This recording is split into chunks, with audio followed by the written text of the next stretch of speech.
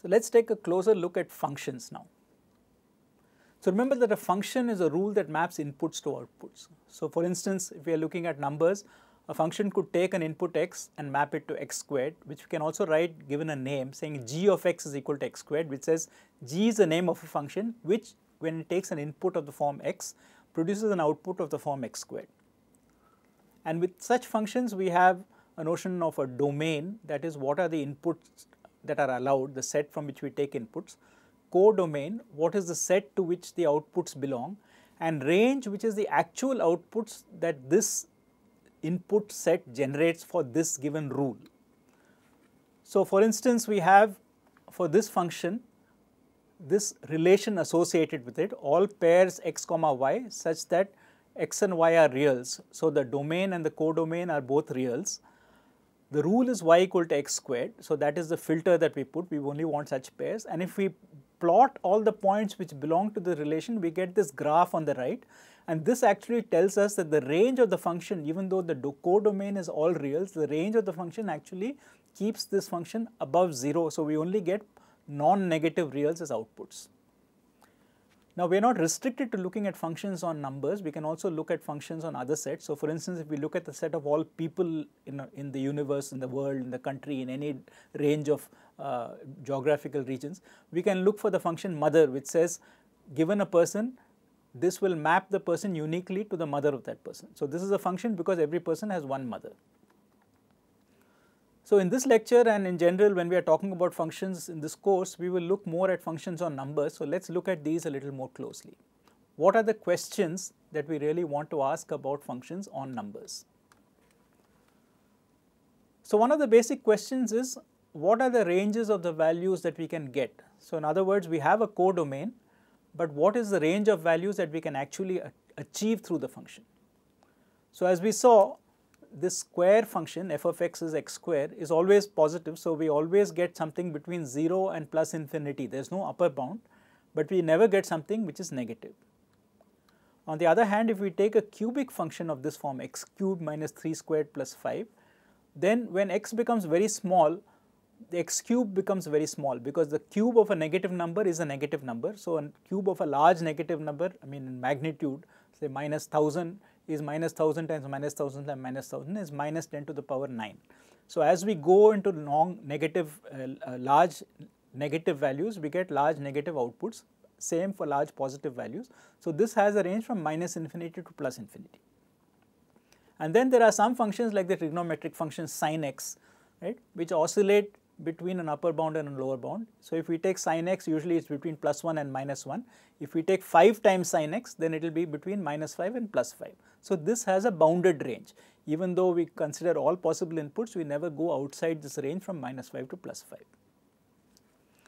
Now, within the range of values that it can take we are often interested in specific points in particular where the values are minimum and where they are maximum.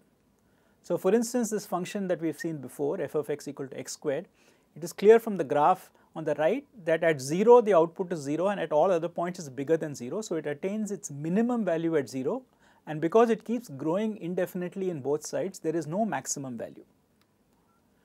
Now, the cubic function we said grows arbitrarily small as we go to the negative inputs and arbitrarily large. So, there is actually no maximum and minimum but it has an interesting behavior in between because it zigzags, it goes up, comes down and goes up again. So, there is something called a local maximum and a local minimum. So, at x equal to 0, it turns around. So, it achieves a maximum value and starts falling briefly. And then at x equal to 2, it turns around again. So, it achieves a local minimum and goes up again. So, we are interested in finding out where these local maxima and minima are for various reasons. And similarly, if we look at something like sin x, then it has of course local minima and maxima at plus mi minus 5 is a local minimum and plus 5 is a local maximum. It is also a global minimum and maximum because these are the maximum and minimum values that the function can ever attain. And now these values are actually attained infinitely often periodically as we go from left to right. Another thing which we are interested in about functions is how fast they grow. Does one function grow faster than another? So, if we look at our two functions y equal to x squared and y equal to x cube minus 3x squared plus 5 and we look at their two graphs, then it is very clear that the red line, although initially on the right it is below the green line, it overtakes it and after that it's never going to be below the green line. So, in this way the cubic function grows faster than the square function. Now, why is this interesting?